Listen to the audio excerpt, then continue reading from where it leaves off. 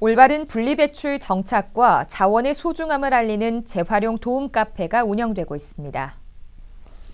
동구는 산수 문화마당에 시민 참여 예산 사업비로 1억여 원을 투입해 재활용 도움 카페 동구라미를 조성하고 주민의식 개선을 위한 홍보 교육장과 재활용 작품 전시 공간, 재활용품 자동 회수기 등을 설치했습니다.